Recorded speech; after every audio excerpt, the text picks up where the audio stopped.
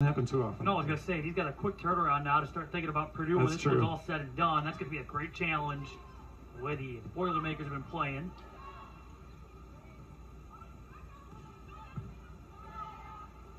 Rodriguez, Batenhorst, and Nebraska serving for the match. Smart shot by Batenhorst. She didn't have a lot of lot of shots available. Block was waiting for her. She just threw it high at the block, and they deflected it out of bounds. And the Cornhusker faithful on their feet. And Nebraska sweeping Purdue in West Lafayette back on the 19th of October, but it's an improving Purdue team as the season's gone on. Macy Bolsicker has something to the Nebraska out to serve.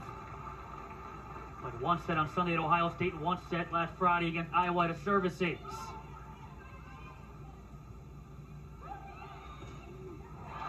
And the kill for Batenhorst puts an end to this matchup.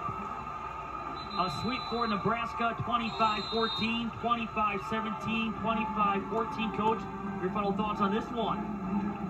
Nebraska did what it came to do. You know, get the three-game sweep and, and be focusing on the teams that they have to still beat to have a shot at the Big Ten championship. Madi Kubik with 13 kills, Ally Batenhorst with 11, and Lindsay Krause would 10 lead the way for Nebraska. They hit 344 in the sweep as Iowa hits 115.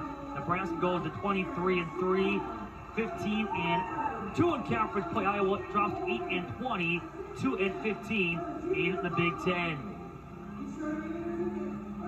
So a three-set sweep on this Friday night. 25-14, 25-17, and 25-14. A sweep of the Hawkeyes for Nebraska for the second time in eight days.